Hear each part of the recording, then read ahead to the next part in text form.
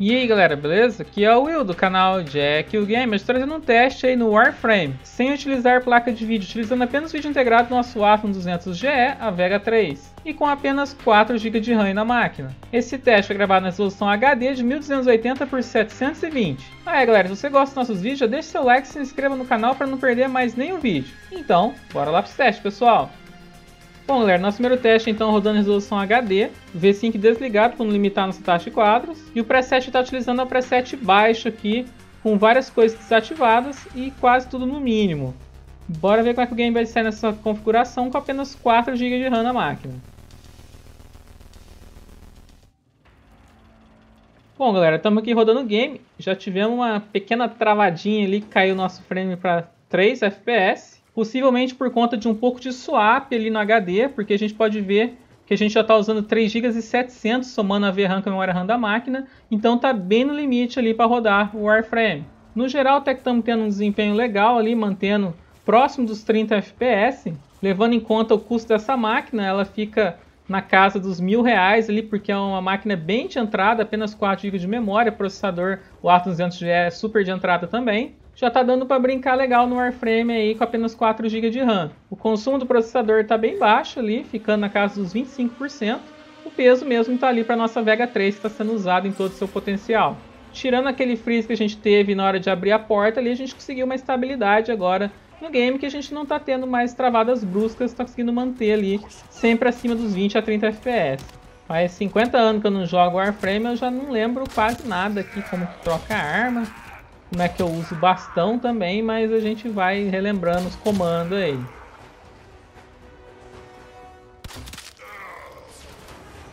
E a arquinha aqui tá do capeta, tem uma flecha ou uma kill, velho.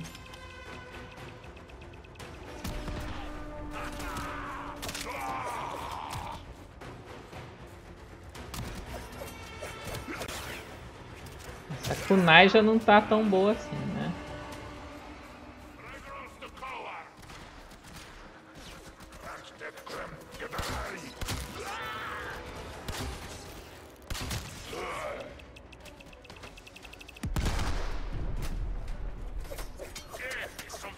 vai fugir não, rapaz.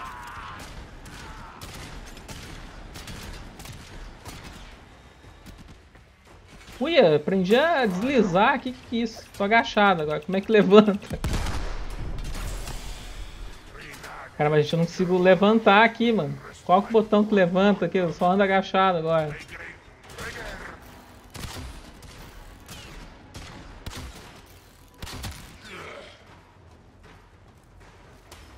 Aê, consegui levantar.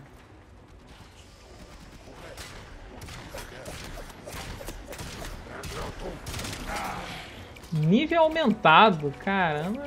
Nível 6, agora eu tô imparável. Caramba, só porque eu falei, levei uma granada nas costas.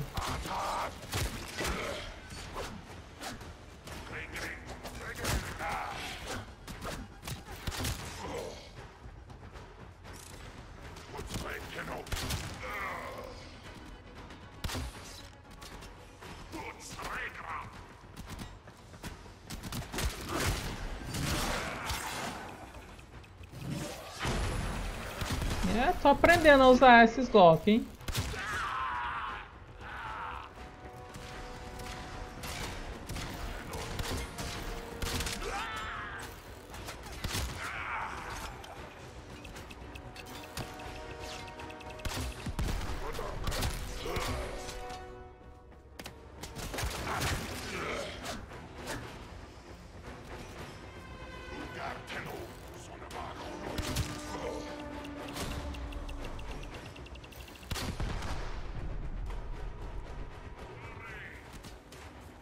É, pessoal, como eu falei, tirando aquela parte no começo ali que a gente teve uma travadinha ali para casa dos 4 FPS, aí no decorrer do game a gente conseguiu rodar bem ali, mantendo uma média na casa dos 30 FPS.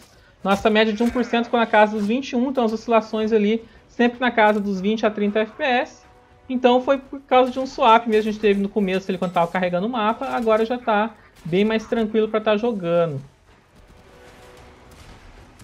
Bom, galera, vou estar encerrando esse mapa aqui então e vou subir o preset gráfico para o médio para a gente ver aí se o Atlas com 4 GB de RAM consegue rodar o game no médio também sem maiores problemas.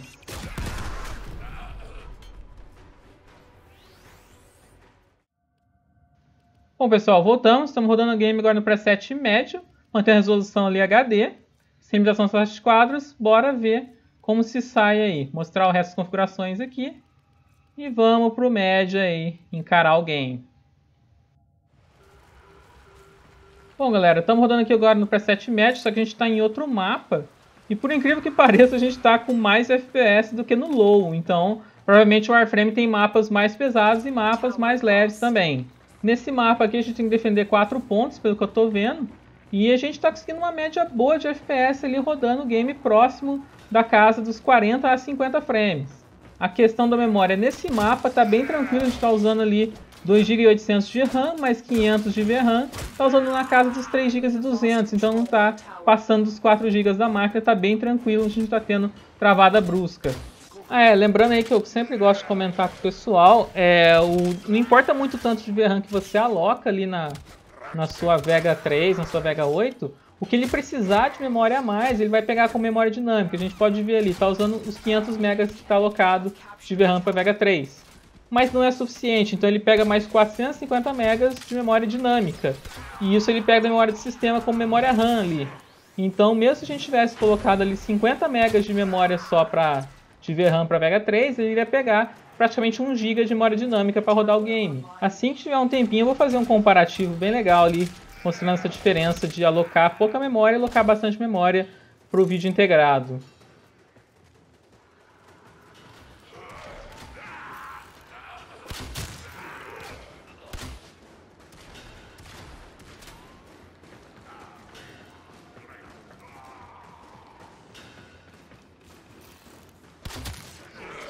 Tower lost.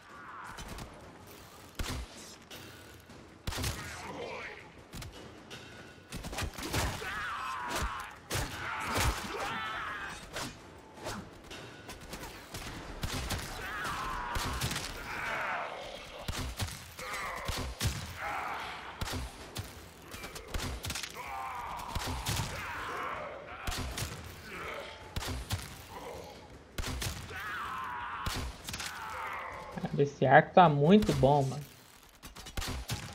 The enemy have taken a tower. You must recapture it.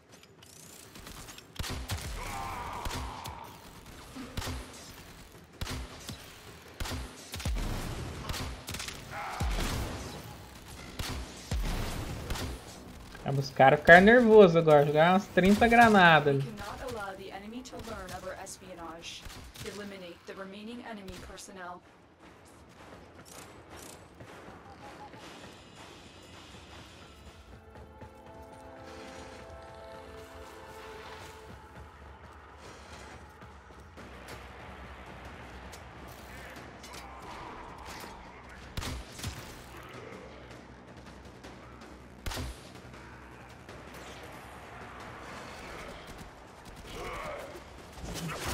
Caramba, deu um golpe agora que eu nem sabia que existia.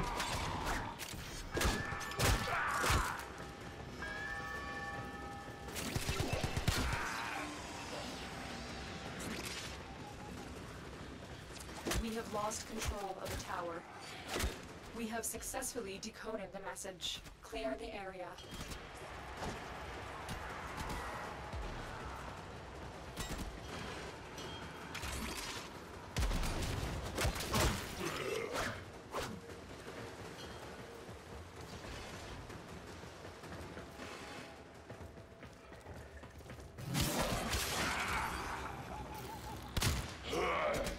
Bom, galera, encerrando nosso teste aqui no médio, eu vou ver se eu paro num canto aqui para mudar o preset, para a gente já fazer o alto também e ver como é que o game se comporta utilizando o preset gráfico no alto desse mapa.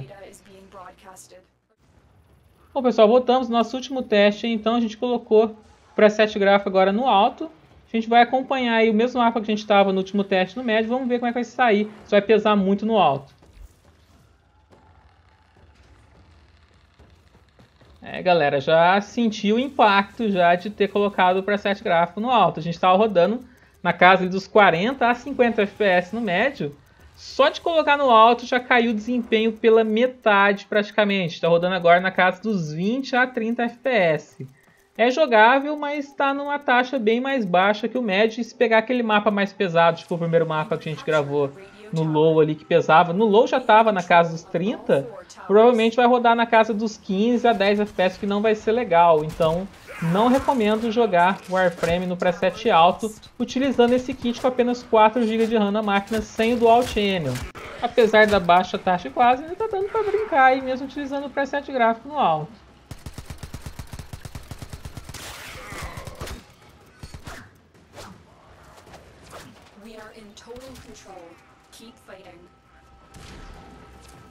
The enemy have captured a tower.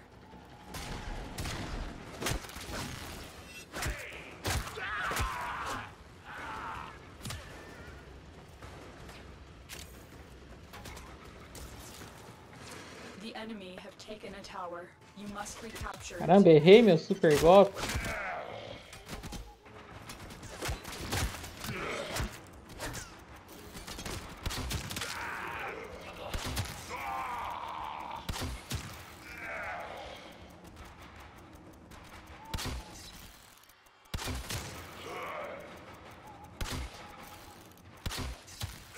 We have control of all four towers.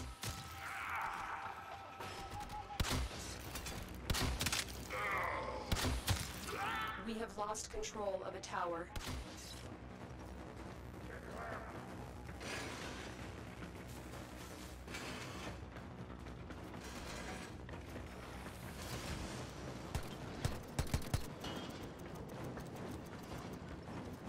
O cara já matou tudo aqui, não tem mais nada. We are. Keep it up.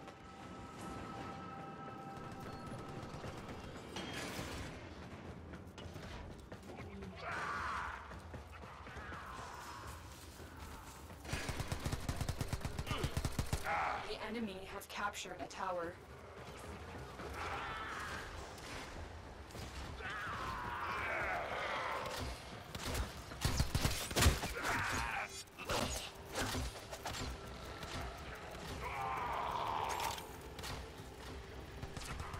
Tower lost.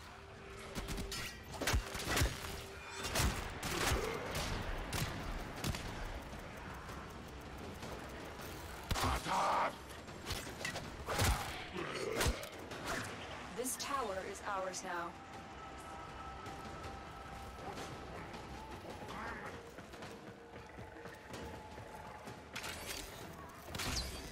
Mas achei legalzinho esse modo de jogo de defender as bases aqui. Lembra muito Team Fortress.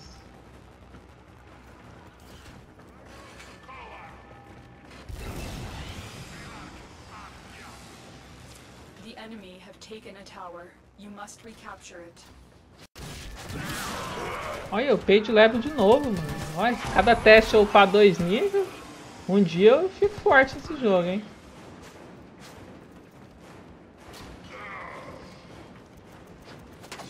The enemy have captured a tower.